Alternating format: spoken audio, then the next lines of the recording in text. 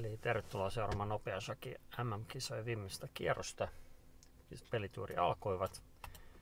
Ja tästä laitetaan pelin Nakamura Carlsen siirtoja. Ja mä vähän tuossa sanoin jo vähän etukäteen tuossa, että pahoin pelkään, että Hikaru pelaa niinku remissiä. Se on vähän sellainen turhan realistinen kaveri, että siis semmonen, joka lähtisi sitten yrittää yrittää niinku liikaa, tai siis niin. Kyllä mä symppaan sitä Hikarua, mutta niin. Mutta se on välillä vähän liian tommonen varovainen, nämä jopa voisin kokea. Tämmönen avaus tasasta on ja ei olla millään omituisella urilla.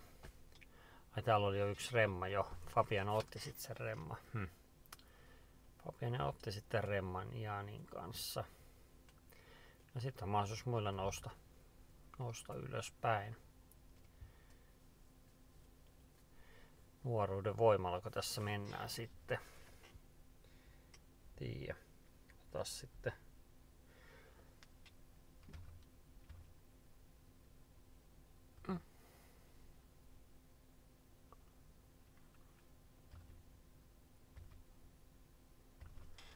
Eli, eli tästä katsotaan tätä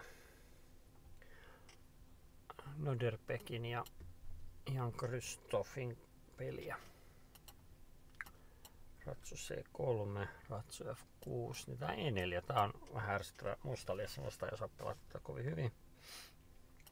Mutta epäilen kyllä, tai siis en epäile, vaan uskon kyllä, että hyvin tätä osataan pelata.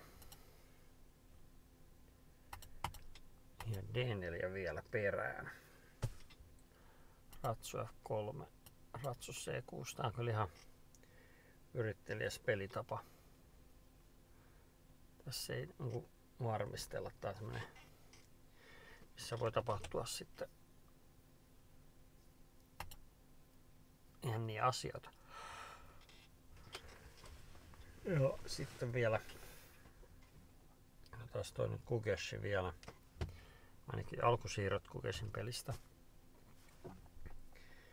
D4 ratsu F6, C4 E6 ratsu F3, D5 ratsu C3 lähetti E7, lähetti F4, tornitus E3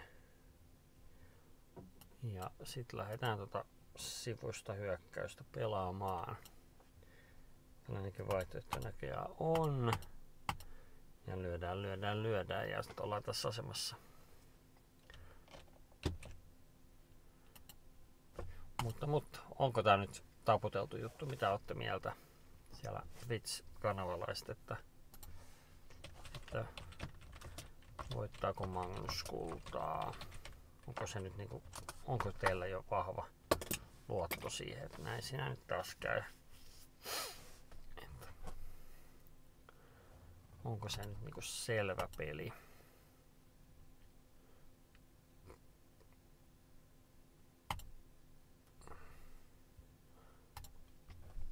Naami B6.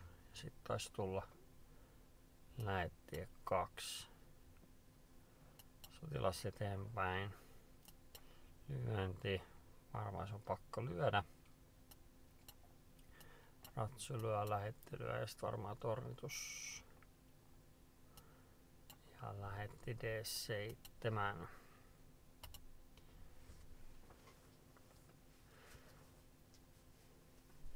Ei nyt mikään maailman tota, haastavin avaus sinänsä mustalta.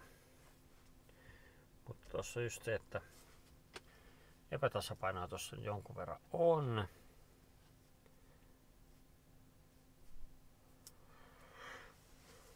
Nyt kyllä, kun toi, toinen peli päättyy noin nopeasti tasan, niin vaikuttaakohan se Magnuksen pelihaluihin. Annetaanko mahdollisuus Noderpekille voittaa kultaa? Se olisi aika hurjaa.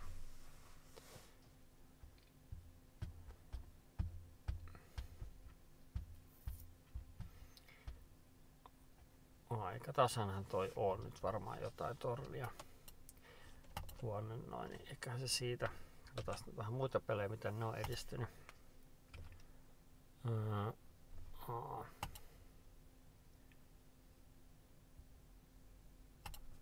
Tosta noin, eli ratsa C6. Tässä ei nyt haluta lyödä, vaan haluta, että toinen, toinen löisi ja näin edespäin.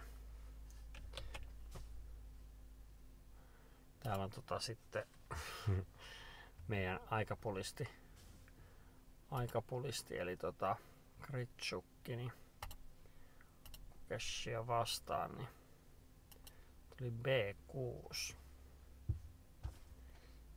Aika tasaisessa merkissä edelleen mennään.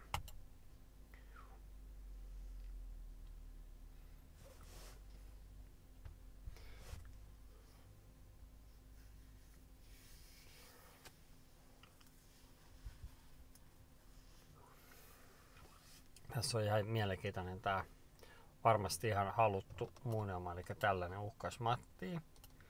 Musta pelaa F6, valkea lyö tonne. Musta lyö ton pois, tulee lähetti D3. Oho. Lähetti D3, uhataan Matti, musta pelaa G6, valkea lyö A8 ja sitten mennään aika sekaviin jatkoihin. Tätä tää nyt Kukeshi miettii, lähteekö vai eikö lähde.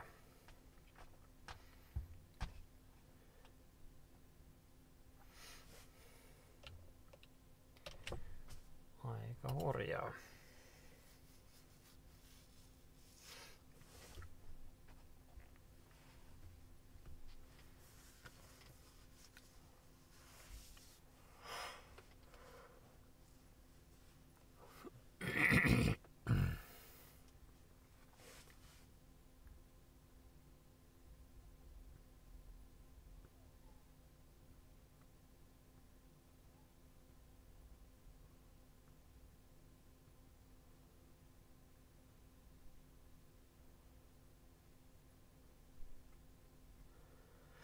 Jos tosiaan tuohon lähtee tuo äskeisen munamaan, että näin tuolta, tuolta tonne G6. Niin tässä on nyt se, että Malkella on vähän kuukku keskellä ja tietysti kyllä linjoituksen saa tehtyä, mutta tippuu myös toi C5 ja tuomarit lähetti jo tuossa aika kingi, että katsotaan nyt haluatko tuohon lähteä. Tässä ollaan tällä hetkellä.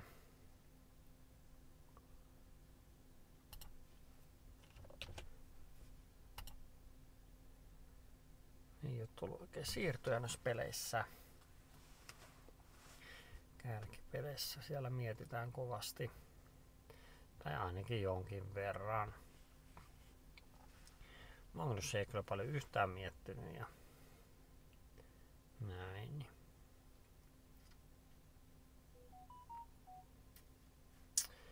Vähän on tuohon Fabian on vähän pettynyt, että ei lähtenyt hakemaan sitä kirkkaampaa kirkkainta. Tai ehkä sitä tälle ajatteli, että Magnus ei voita Hikaruun, mutta onhan se mahdollista, että Magnus sen tekee. Mutta jos Hikaru tekisi toisinpäin, niin sitten Hikaru nousee. Jos Nordirbekki nyt ei voittaisi, niin No, jossittelua on. Sehän on shakkipelin suola. Ollaan vähän väärässä pelissä.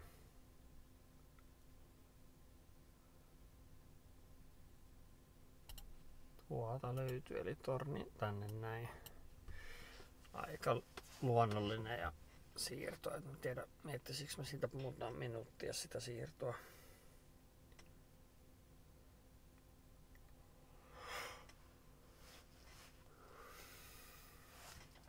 Siellä tuli siirto ainakin tuolla.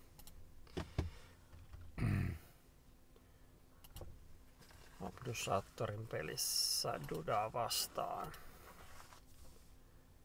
Eli Daami D5 lähetti 2 Daami A5. Eli nyt ollaan valmiita lähteä lyömään tonne C3.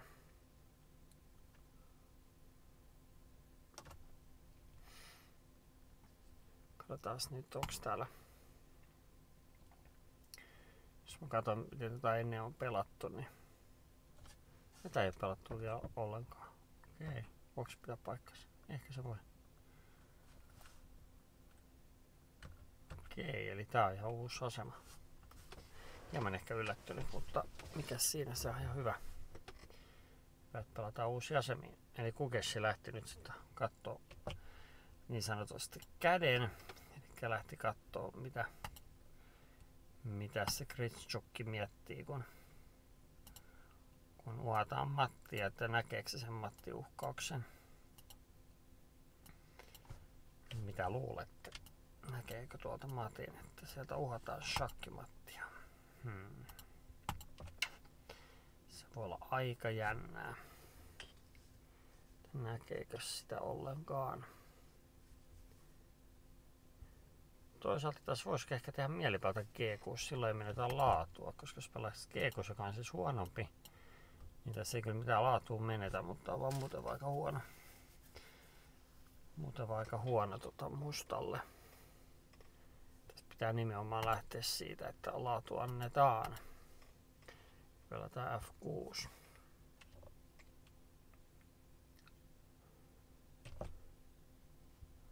No, sitä nyt mietitään, että mitä tuli tehtyä. Okei, tuolla on Hikaro lähtenyt vähän hurjille vesille. Torni AD8, niin sitten on lähetty pelaa B4. Tästä nyt menee. Eli ensin silmäyksellä näyttäisi olevan suissa. Eikö siis tuolla lähetti suissa? Okei, no ei ollut suissa, siis okei. Minun silmäykseni ei ollut tarpeeksi hyvä tässä tällä kertaa. Mm. Mutta mustalla on siitä E5, joka suojaa tämän lähetin mennään sitä aika sekaviin jatkoihin, mutta ehkä se oli Hikaron tarkoituskin. Hikaru on kyllä käyttänyt tässä kyllä enemmän nyt aikaa.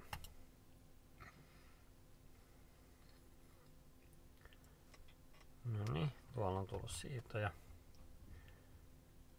Eli tässä pelissä tuli dame B3 ja sitten tuli lyönti ja lähetti lyöntiä. Varmaan tuo kuningatar tuota, joko se siirtyy, joko tulee lähetti väliin tai sitten lähetti E6. Ja lähetti tuli B4. Kyllä tuossa ehkä valkealla vähän parempi asema voi säilyä. Oho, nyt tuli vähän ehkä yllättävä siitä.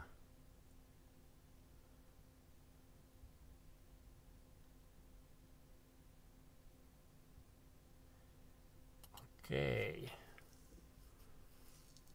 Kukesh Kritschukki tuli. Sieltä tuli F6, tuli näin. Sitten ei löyty lähetti, vaan torni tänne.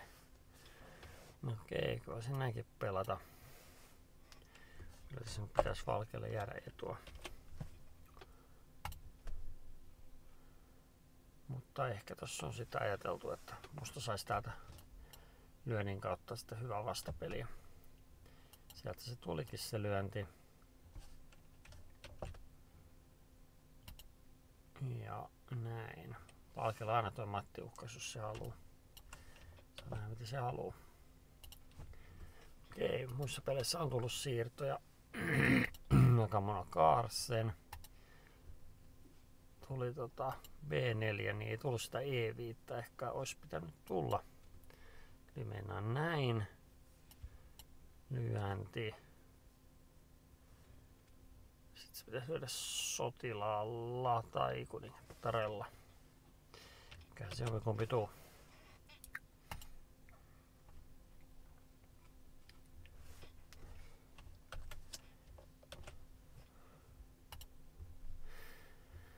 Ja Duda, Duda-peli edistyy vähän nopeammin. Ei se joka toi vaan.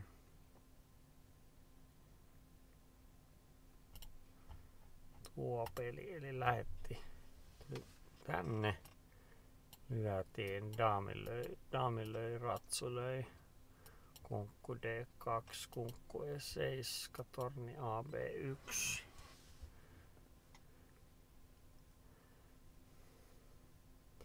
Valkella pikkasen kivempi peli. Mutta ei ehkä ihan hirveän isoja ongelmia. Tässä oli tietysti hyvä kysymys, että mille linjalle tämä piti laittaa, että olisiko ollut torni CH, torni HC1 parempi. Sitä nyt ei siis tullut. Semmoinen sana tähän sakissa on, että ihan sama minkä pelaa, että se on aina väärä. Logiikka on vähän ehkä siinä, että tietenkin vastustaja yrittää osoittaa sen vääräksi. No niin, nyt lähdettiin heikon E6 kimppuun ja olla semmonen jännä juttu kyllä, että jos tulee F, niin sitä ei kuitenkaan ehkä voi syödä, koska, koska kun kuku väistää, niin sitä on vaikea suojella.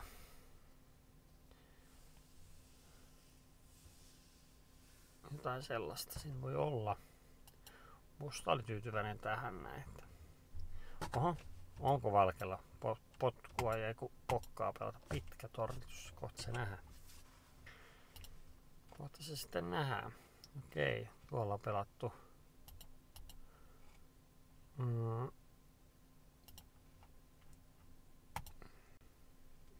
C5, joka on hyvin luonnollinen nyt Valkelosta toisaalta luonnollinen tämä D4 pelaaminen.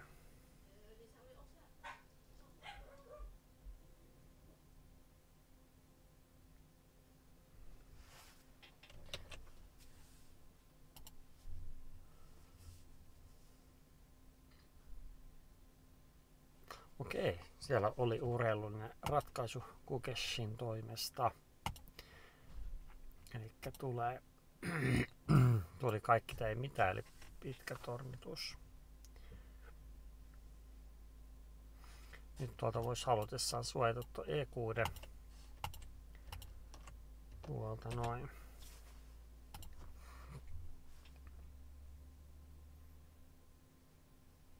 Oho, okei, okay, eli Magnus ei ottanut sinänsä mitenkään liian varman päälle, koska hän löi tota sotilaalla. Sieltä tulee ratsu E2 ja E5. Nyt ei kyllä pitäisi mustalle varmaan tota vapaustilasta antaa, ettei kannata ehkä lyödä tota D4 niinkään. Sitä ehkä ei sit kannata tehdä, vaan siitä vaan lähettiin pois katsoa sit mihin se riittää asema suhteellisen tasan.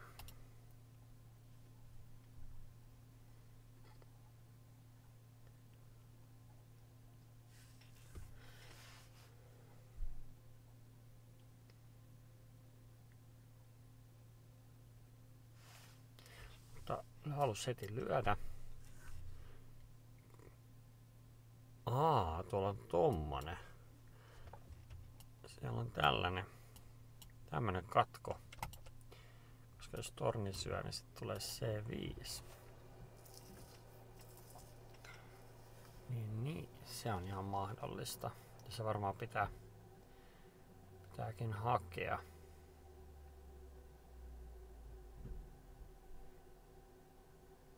D6 pitää lyödä. Voi mennä vähän jännää. Jännäksi tää juttu.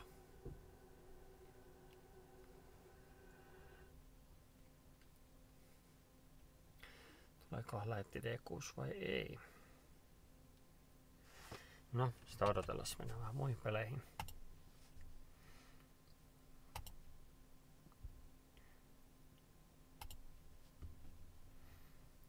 Eli täällä Duda pelissä niin taisi tulla torni tänne ja B6. Aika luonnollinen. Se D4 ei enää on niin hyvä. Ja nyt ei halunnut sitten Döderpekki lähtee sitä pelaamaan. Ehkä sitten vaan A3 ja tai sellaista.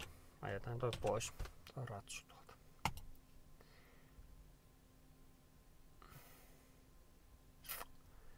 siellä nyt Hikaru miettii ja Magnuskin on tuossa miettinyt, niin mitä tällä tapahtuu.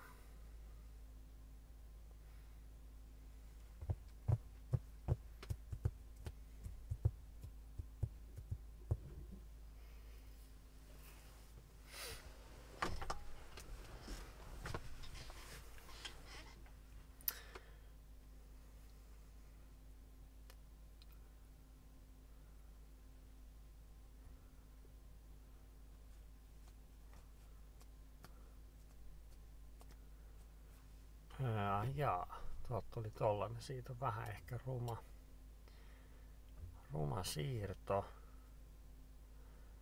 Ja nyt pitäisi muistaa sitä lyödä tonne ja kun valkee, valkee tota väistää, niin sitten lyödä toi ratsu pois.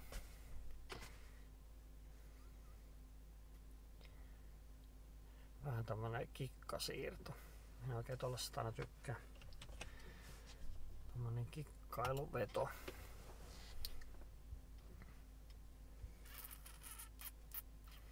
Ei halunnut lähteä kikkailemaan.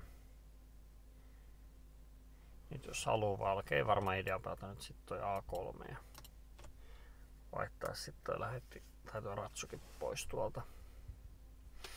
Vähän on valkea pelannut ehkä vähän löysästi. Nyt se sieltä tuli löysää peliä.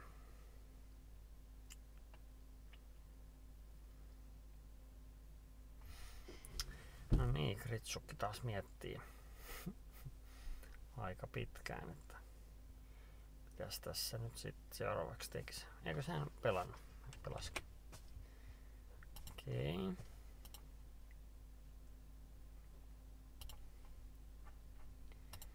Eli sieltä tuli kunkku H8. Vähän on löysä kyllä.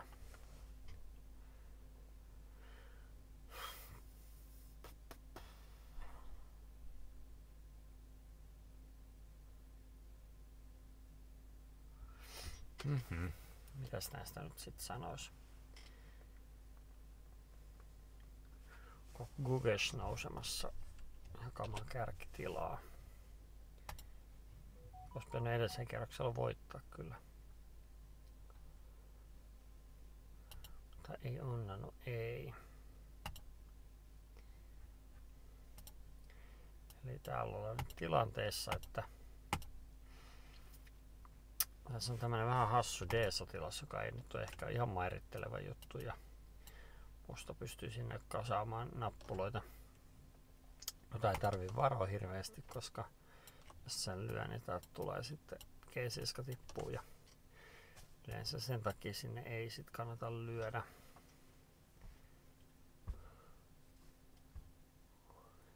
Mm. Tämä jotenkin ehkä musta oli miellyttävämpi. Onko Duda nousemassa?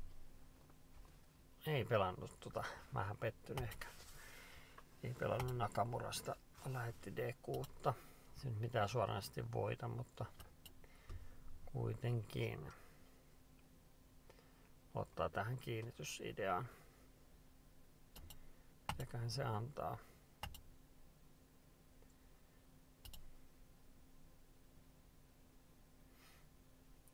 Daami löi sotilaan. Ettiks Valkea jotain ikusakki juttuja tai jotain tämmöistä klassista, klassista linjaa. Sitten hyökätään jonnekin päin tonne. Ehkä se etsii sellaista hyvää reittiä tasapeliä. Magnusta vastaan.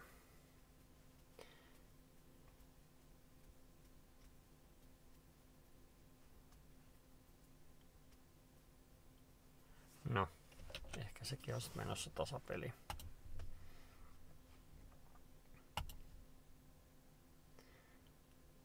Ahaa. Tuolla.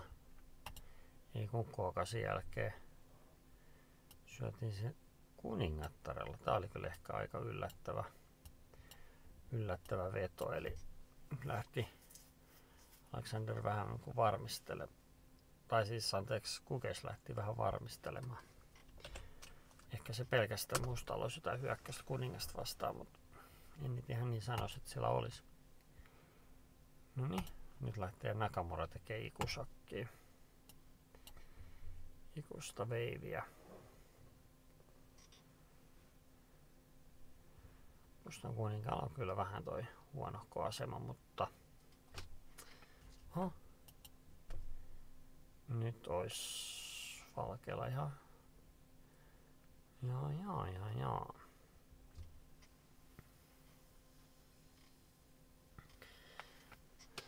Mites täällä menee? Tuossa näyttäisi olevan ihan, ihan tasaiset mahdollisuudet. Tässä voi nyt tehdä tämmöisen niin sanottu vähän niin välisakki ja sitten lyödä torrella toi pois, mutta valkoinen löi sen heti ja se ei nyt ole ihan paras, paras juttu siirto.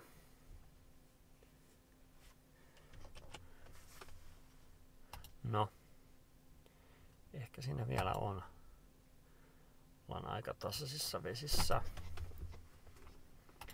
Täällä tuli torni HD8, sitten tässä tulla, mikä tuli ensin, katsotaan se.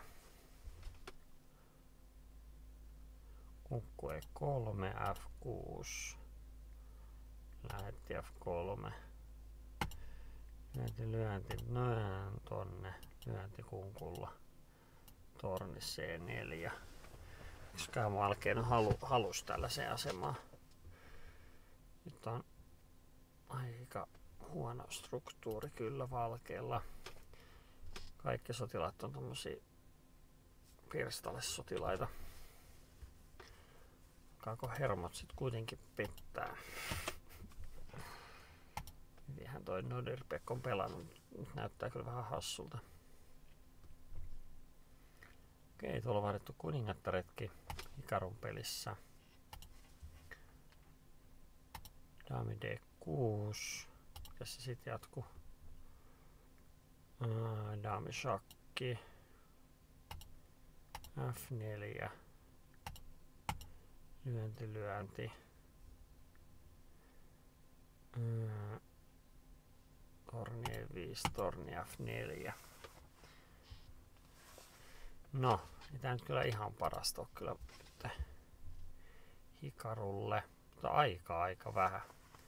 Hikaru mietti sitä siinä yhdessä kohtaa ja mun mielestä olisi yrittää jotain aktiivisempaa, mutta tosiaan valkea tässä tuossa taas hyppään tuohon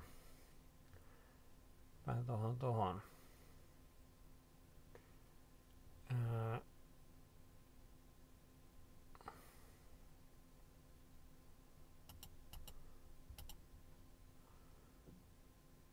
Duda-peliin, niin tota,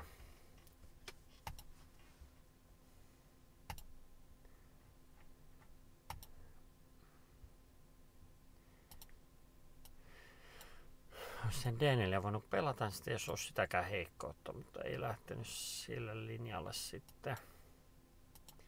Mutta yrittänyt pitää tuon kuningasaseman tollasena. On tää tosi ikävä pelta valkealla. Pakko jotain A5 eteenpäin ja katsoa mihin se riittää. Ai ai ai. No ehkä tää on pidettävissä vielä. Ehkä tää on pidettävissä vielä. Okei, tuolla lähdettiin jo vapaustilalle eteenpäin. Hikaru lähtee jo sillä eteenpäin. Se on ehkä vähän ennenaikaista, mutta mikä siinä?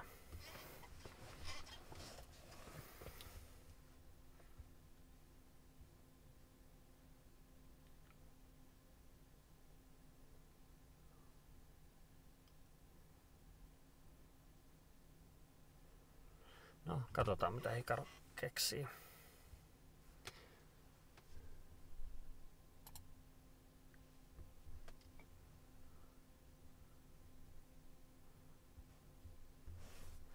No, tuolla taas vaihdettu vähän nappuloita. Itse asiassa tuo Kukeshin peli voi olla ehkä se kaikista kiinnostavin, niin mennään nyt sinne.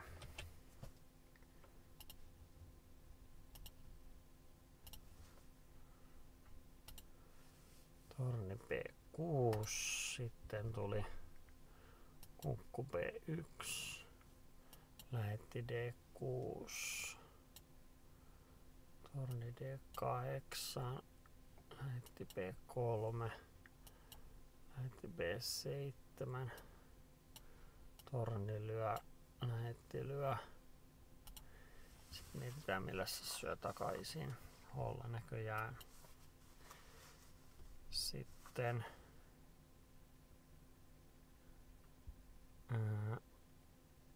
lyönti, lyönti, lyönti. Tääkin nyt menossa tähän tasapeli tilanteeseen aika lailla. Mutta voisi yrittää että C7 painostaa sillä, että pelaisi tuo D5 ja sitten tulisi tuolta tornilla ehkä sitä painostamaan. Mut mut. Nakamura Carsenissa on nyt syöty toi sotilas mennyt jotenkin näin, että torni D2, torni lyö, torni, torni, näin noin. Ja nyt Halkealla on sen verran aktiivisuutta, että sä saat on torni 7 riville painostettu sekä A7 että F7, niin pitäisi olla tasapeli kyllä tämän pelin myös.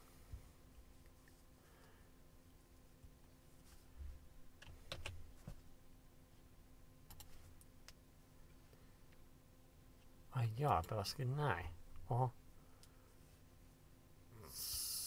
Tää oli ehkä vähän yllätys. Jos valkeus päässyt noihin sotilaslyönti jatkoihin, mutta se otti tällaisella. Arvioi varmaan, että tämäkin on sitten tasapeli. Ja ehkä se näin on. Aika sen näyttää. Hmm. Siellä on pelattu Kukeshia. Lähettelyä. Kunkku C2. G6.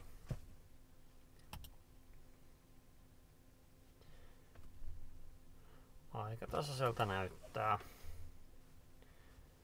Ja täällä taas sitten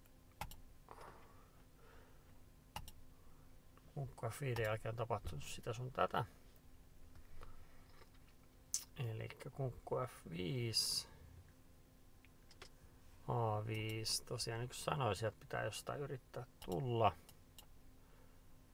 Torni D6. Lyönti, lyönti. Torni A3. Torni shakki. Ja pois. Ja seiskarivi counterpeli ja H4. No, musta tietenkin pelaa etua sotilas enemmän, mutta kyllä toi voi olla ihan pidettävissä.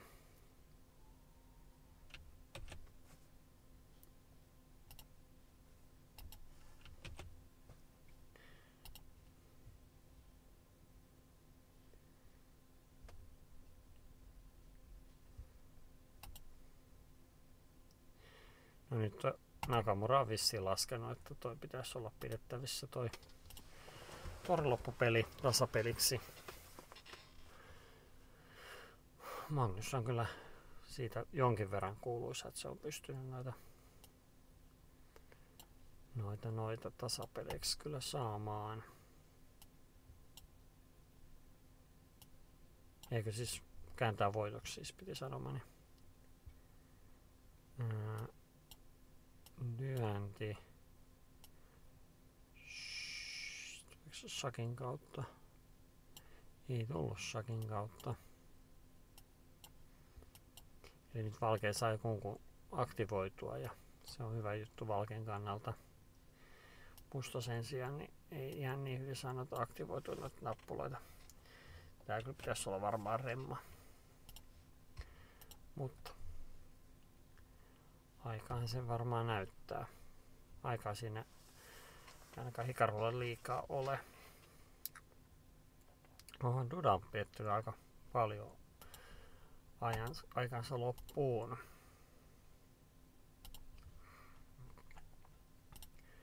Eli tästä eli jatkui Onelen jälkeen, niin tota, Siellä on torni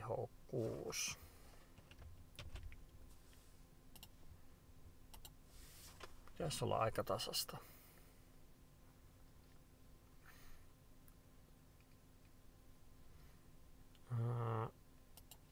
Yes, alkaako se saamaan Alexanderin aikapulassa nyt jotain hyviä hahloja. Välillä se tuntuu näin olevan, että Kritsuk on itsensä pahin vihollinen.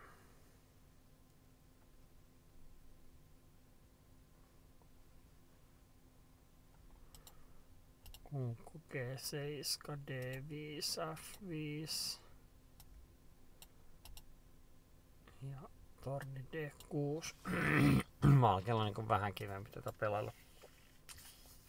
Oho, nyt kyllä meni vähän yllättäen tälle vaihtare, näitä nappuloita. Mutta ehkä se valkee sen laskee, että se saa tonne 2 vastaan 1 ja sitä kautta pois sieltä saada jotain. Ja silloin vapaa sotilas kuitenkin valkeelle, sitä usein kannattaa yrittää hankkia. Niin A-vapari, niin muuta kuin korottamaan vaan. Sitä ne pitäisi estää tuo shakki ainakin yhden kerran. Joo, pieni etu valkealla. Ja sitten sotilas G5 B4 torni C1 ja ja, ja. Katsotaan kuka täällä, kuka täällä nauraa. Nauraako kukaan? Okei, katsotaan vielä tuohon Magnuksen peliin. H4. Ja mitä sen jälkeen siellä on tapahtunut on, ettei värisiitoja. Siellä on tapahtunut se aika paljon shakki. Torni tuli täältä sivulta suojaamaan. G3. Ja kunkku E4, torni B5. Kunkku F4. F6 shakkis. Kunkku 4 shakki. Kunkku shakki. Aika paljon siirtoja. Oho, tuolla on tämmönen ihan jo kilpajuoksu tuolla Dudan pelissä. Oho. Kunkku F4, torri tänne ja kyllä tää pitäisi olla tasapeli menossa toi, toi peli. Ei tässä pelkästään tuolla reuna vaparilla kyllä tulla voittamaan. Tätä mä en ehkä ihan ymmärrä. Yrittääkö se tässä valkeutuu, okei okay, yrittää. Ei ihan aukea. Tästä on Duda. Eli Dudalla oli etua, mutta onko se nyt mennyt vähän isommaksi etu? Eli torni H6. Siirros 35. Sen jälkeen tapahtunut yhtä sun toista ja muuta ihmeellistä. Tuolta lyötiin noin torni B7 kukku D4 pois pois noin Papa sotilaita pitää puskea eteenpäin, ihan sanontakin.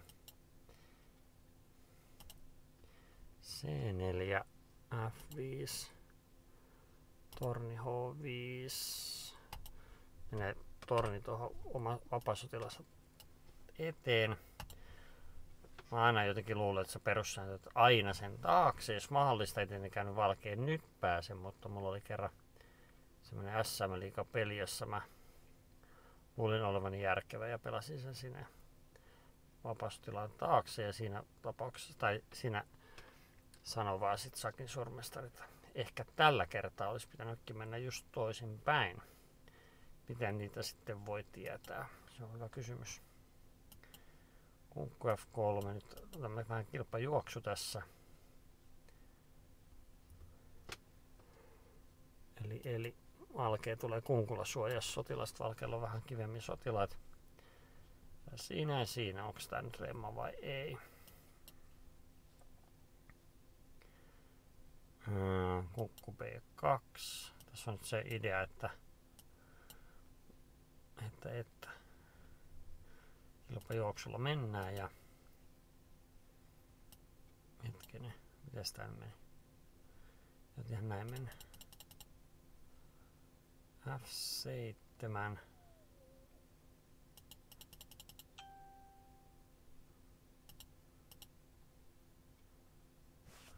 Eli ei... Vaikea pysy perässä, miten tää nyt menikään. Tornia Fyx.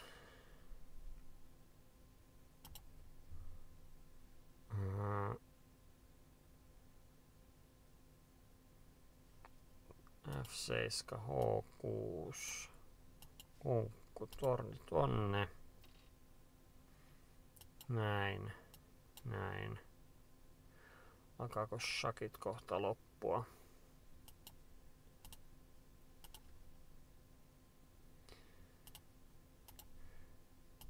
Täältä yrittää kuningas päästä vähän paremmille paikoille. Valkea jatkaa shakkaamista ja tää pitäisi ehkä olla tasapeli. Se olisi kovin jännittävää. Sekin asia.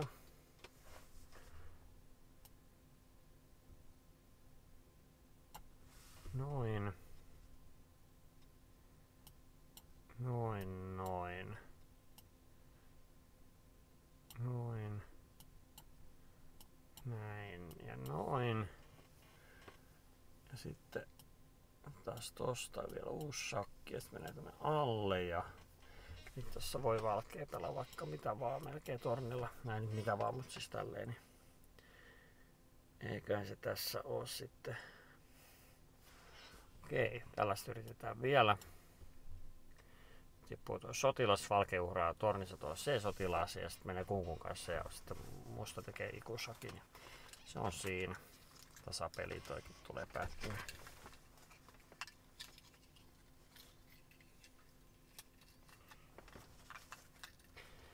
Se on siinä se.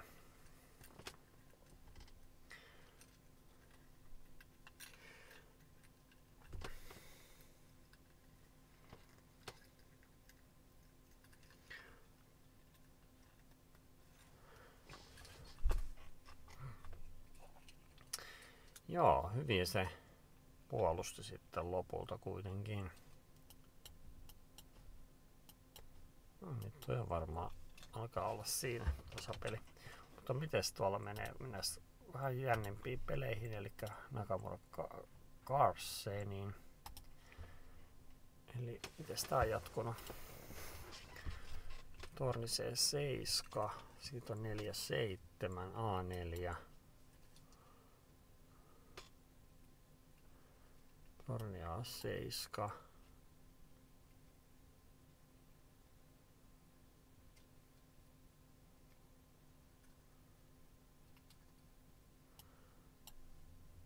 Oikein tulee, löysin kuitenkin tän. Mä ymmärrän mitä se teki tuolla C-linjalla äsken, mutta kävi vähän siellä kääntymässä. Musta tietysti yrittää tuossa sotilastauta eteenpäin. Mutta, mutta alkee tuolla se kunkun tarvittaessa G2, niin ettei voi musta tehdä sitä niin sanottua kiertoa. Ja tämän jälkeen niin miten musta edistyy? Ei mun mielestä oikein mitenkään.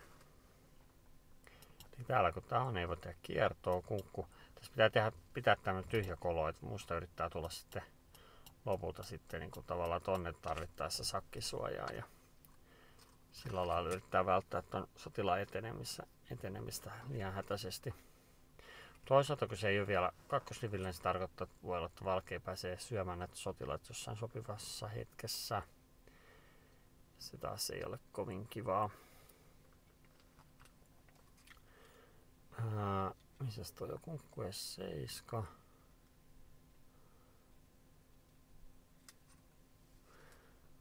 Joo, noin noin. Kunkku. Shakki. Näin, onko tässä musta jotenkin edistynyt, sitä voi kysyä. Vastaus voi olla, että ei ole. Näin. Pidetään täältä, mennään syömään shakilla. Siitä ei nyt sitten tykännyt, tulee täältä sivukautta. Sakataan.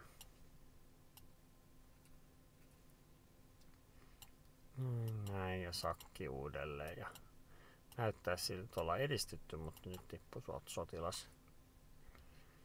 Tuotaan kuitenkin ma- melkein kohta Mattia, niin tultiin pois ja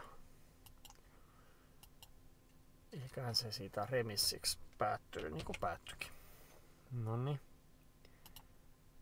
Se oli remissi se. Oliko nämä muutkin päättynyt? Niin sanotut kärkipelit. Toi oli tasan toi. Ja tääkin. Häh?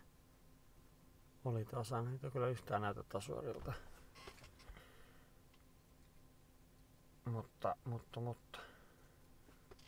Okei. Tasan päättyy. Katsotaan, onko täältä jo päivitelty. Ei oo. No niin, nyt mä täytyy varmaan lähteä tota ulkoiluttaa koiraa. Toivottavasti vielä ehdin. Ja sitten sen jälkeen katsotaan, että onko pelit vielä käynnissä. Mutta kiitoksia sinne YouTubeen ja jännittävä 13 kierros ja näyttää siltä, että uusintapeleihin ollaan menossa. Tässä nämä kärki neljä oli kärjessä ja, ja, ja kukessa ei ihan onnistunut nousee. Jos on mahdollisuuksia kyllä nyt nousta sinne yhdeksään ja puoleen, mutta ei tän onnistu. Jees. Kiitos ja moikka moi!